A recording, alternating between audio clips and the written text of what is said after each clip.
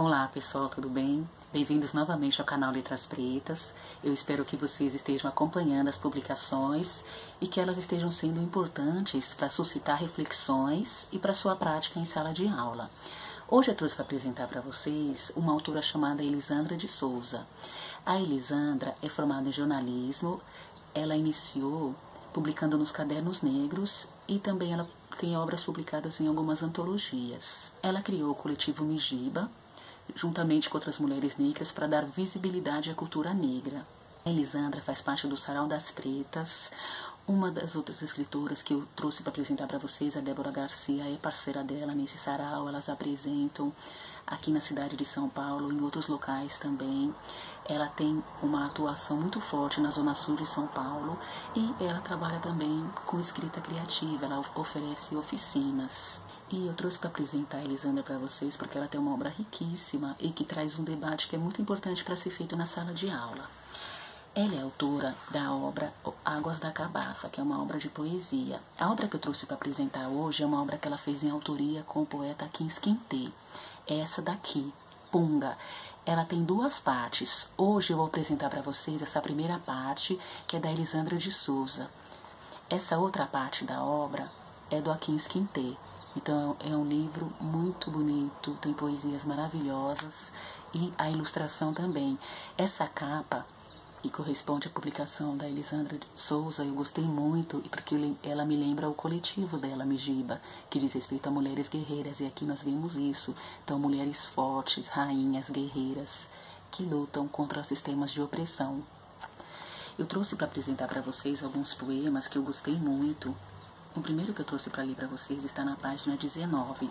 O título é Sou seu HIV. Divirta-se. No seu momento de distração, transcendência, gozo e alucinação. Sutilmente penetro na sua fortaleza, injeto meu vírus. Ai que beleza! Demora um tempo para ser percebida.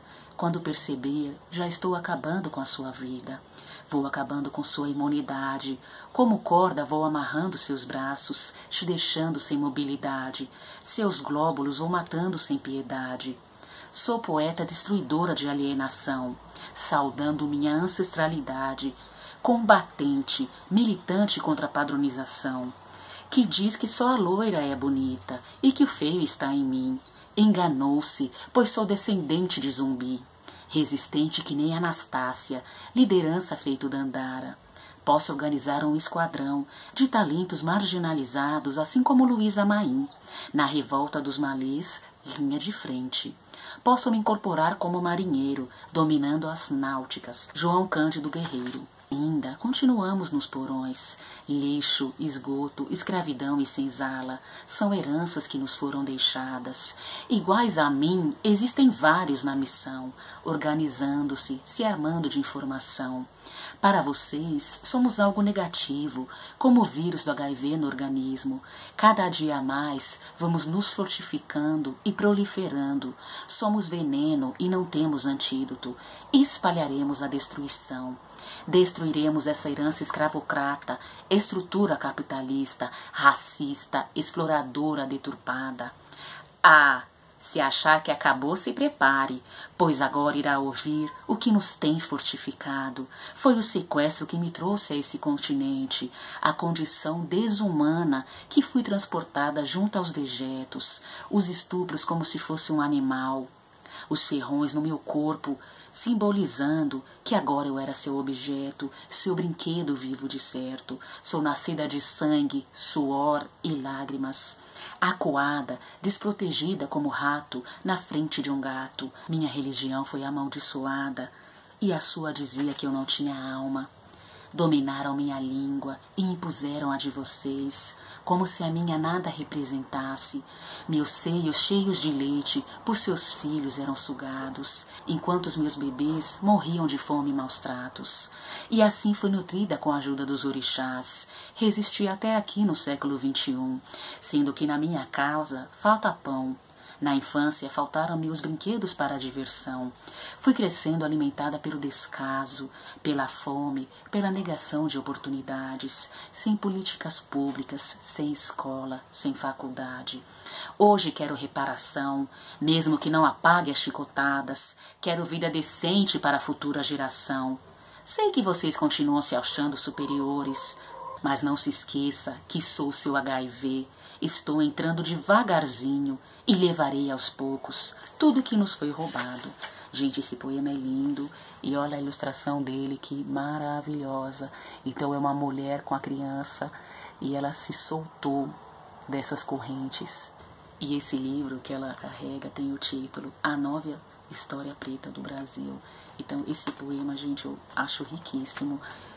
A gente pode trabalhar várias aulas porque ele traz várias temáticas importantes. Então, a revolta dos malês, a questão, os negros foram escravizados, mas eles resistiram. Ela cita referências a, Luísa Maim, que foi muito importante para a revolta dos malês na Bahia. A revolta dos malês tinha por objetivo tomar a cidade de Salvador.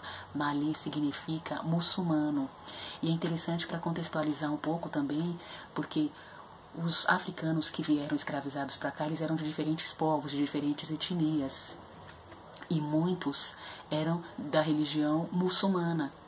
E eles se organizaram na Bahia para lutar contra a escravidão. E um papel muito importante foi ocupado pela Luísa Maim, que é a mãe de um grande poeta, que é o Luiz Gama.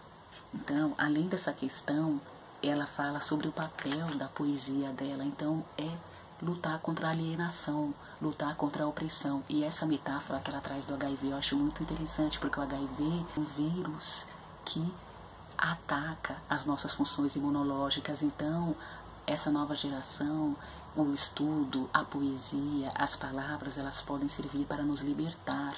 E um instrumento de luta até hoje se percebe muito isso é a palavra. E por quê? Porque por meio das palavras nós questionamos o machismo, o racismo, a homofobia, o preconceito de classe, o preconceito de gênero. E ela mostra, mesmo que não se possa apagar o passado, nós podemos escrever novas linhas para o futuro, fazer a reparação. Isso é uma questão importante para discutir políticas públicas, por exemplo, as cotas, trazer essa discussão para a sala de aula. No ensino médio, por exemplo, eu lembro que eu trabalhei com o segundo ano, no livro didático tinha um texto falando sobre as cotas, e eu trouxe outros pontos de vista. Isso surgiu também na questão da discussão sobre a maioridade penal. Então, se nós formos verificar, os jovens que são presos, a sua grande maioria são jovens de classe média baixa, são jovens negros que têm um histórico de banalização das suas vidas, um histórico de marginalização das suas vidas. E esse poema é muito rico porque ele mostra isso como a luta é construída, como a articulação é construída para lidar contra esses sistemas de opressão que até hoje tentam aprisionar a população negra, a população periférica, as mulheres negras, os homens negros, os jovens negros. Ela fala sobre a questão da língua. Então, hoje nós falamos a língua portuguesa. Por quê? É uma questão que eu gosto muito de discutir com os alunos também. Por que nós falamos a língua portuguesa? É, porque foi uma língua que nos foi imposta. Mas nós podemos usar essa língua para enegrecer a nossa história, como esse livro que essa mulher carrega. Então, vamos construir uma nova história, uma história preta do Brasil, porque a nossa história começa nos livros didáticos com a chegada dos portugueses, mas nós temos uma história anterior, uma história relativa à população indígena, que é uma história que também segue marginalizada, e uma história que nossa que é embranquecida. Então esse poema é muito rico, ele suscita discussões muito interessantes. Um outro poema que eu trouxe para apresentar para vocês, que eu gostei muito, se chama Madrugada. Sozinha desço da lotação, respiração palpitante, penas velozes, a rua vazia e deserta, ofegante, até o vento me assusta, tropeço nas próprias pernas, perco a linha do horizonte, na imensidão do caminho. Minha casa nem vejo de tão distante, a cada passo que dou, rezo o Pai Nosso, que estás no céu, embaralho com a Ave Maria, e junto com em Deus Pai, eu apelo para o anjo que me guarda. Desespero-me olhando a lua. Valei-me o seu Jorge. Passaram correndo na mente as cenas de violência. Eu tento expulsá-las. Penso no meu dia. Meu cachorro late. Enfim. Tremendo, abro o portão. Cheguei em casa. venci mais uma missão. E a ilustração dele é essa daqui, olha, uma mulher então chegando em casa. E gente, eu me identifiquei muito com esse poema porque eu nasci na, na, periferia de São Paulo, no Capão Redondo, e na época que eu fazia faculdade, que eu saía para trabalhar muito cedo, eu sempre tinha medo. Então, o medo faz parte da nossa vida, principalmente das mulheres moradoras de periferia. E acredito que é uma, um tema muito interessante para levar para a sala de aula. Eu lembro que, do período que trabalhei com ensino médio à noite, muitas alunas, ao voltar para casa, eram assaltadas. Então, falar desse medo que nos acompanha, da questão da violência de gênero. Então, quando nós somos mulheres nós sentimos medo, sim, porque nós temos medo não só do assalto, nós temos medo do estupro. E ela traz essa questão que eu acho que é muito importante para discutir em sala de aula. Podemos nos organizar para lutar, como nós podemos enfrentar essa violência, esse medo que faz parte do nosso dia a dia. São dois poemas que eu selecionei apenas, ele tem outros poemas que falam de questões como amor, de relacionamento, mas esses dois poemas eu achei muito interessantes para a gente trabalhar em sala de aula. Eu recomendo muito a leitura do livro. No vídeo da semana que vem eu vou trabalhar com os poemas do Akin Quinte. É isso, pessoal. Eu espero que vocês tenham gostado dessa indicação, das poesias que eu li. Obrigada pela companhia de vocês e até a próxima.